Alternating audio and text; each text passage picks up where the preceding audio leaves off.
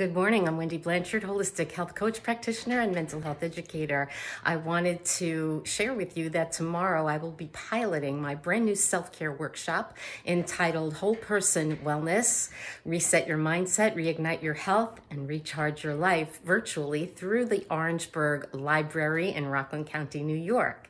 You can go to orangeburglibrary.org right now to sign up. We have almost 20, I believe, participants, and after after the one hour workshop, which goes from 4.30 to 5.30 p.m. tomorrow, January 12th, I will be challenging the participants for the month of February with a self-care contest.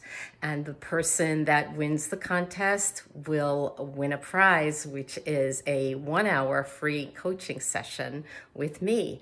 So please go to orangeburglibrary.org to sign up and i hope to see you then. And remember self-care is the actions that we take to achieve and wellness is where we stand in our power have a beautiful and blessed day and week ahead take good care of yourselves and each other.